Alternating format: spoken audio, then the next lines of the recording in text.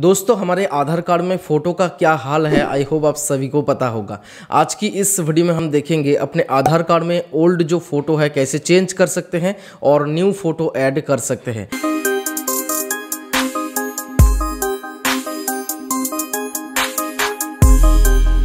दोस्तों, आधार कार्ड में photo change करने के लिए सबसे पहले आपको इस वेबसाइट के ऊपर आना है। इसका जो लिंक है, इस वीडियो के नीचे डिस्क्रिप्शन में आपको मिल जाएगा। इस वेबसाइट के ऊपर आने के बाद सिंपली नीचे की तरफ़ सिटी और लोकेशन आपको सिलेक्ट कर लेना है। आपका जो भी नियर बाई सिटी एंड जो भी लोकेशन है, आप सिलेक्ट कर लेंगे। तो चलिए यहाँ पर मैं सिलेक्ट कर लेता हूँ।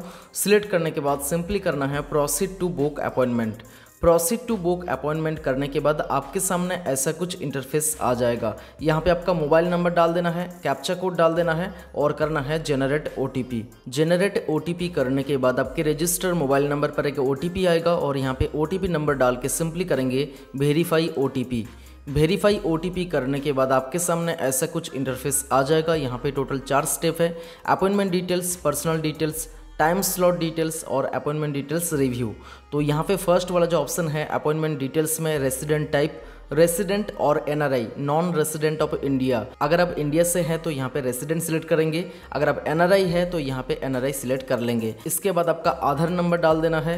Name on Aadhaar Aadhaar card पर जो भी नाम है डाल देना है. एप्लीकेशन वेरिफिकेशन टाइप यहाँ पे डॉक्यूमेंट सिलेक्ट कर लेंगे. आपका जो भी स्टेट है आप सिलेक्ट कर लेंगे. स्टेट सिलेक्ट करने के बाद सिंपली आपको सिटी सिलेक्ट कर लेना है. सिटी सिलेक्ट करने के बाद आधार सेवा केंद्र सिलेक्ट कर लेना है. सिलेक्ट करने के बाद सिंपली क्लिक करेंगे नेक्स्ट के ऊपर. नेक्स्ट करने के बाद आपके सामने ऐसा कुछ इंटरफेस आ जाएगा।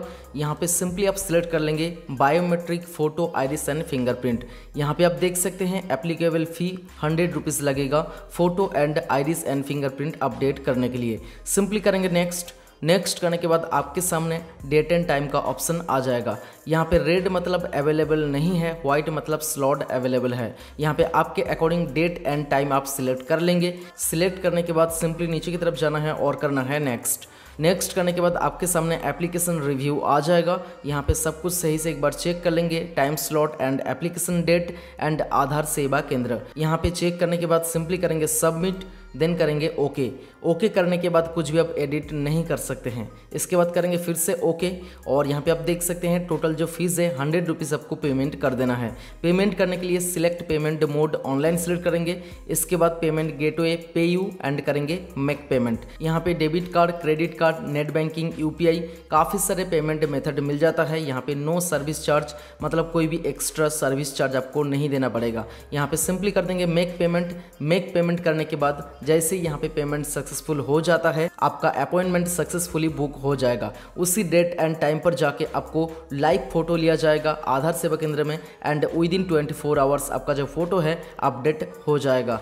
तो आपको बता दिया किस तरीके से आप आधार कार्ड में फ़ोटो चेंज कर सकते हैं। इसके लिए ऑनलाइन आपको अपॉइंटमेंट बुक करना पड़ता है। आई होप इस वीडियो आपको काफ़ी पसंद आया होगा। पसंद आया तो लाइक कीजिए, शेयर कीजिए। अगर इस चैनल पर पहली बार आए तो प्लीज़ सब्सक्राइब करके बेल आइकन को ज़रूर प्रेस कर लीजिए। मिलता हूँ नेक्स्ट वीडियो में। तब तक के लिए जय हिंद बंदे मातरम।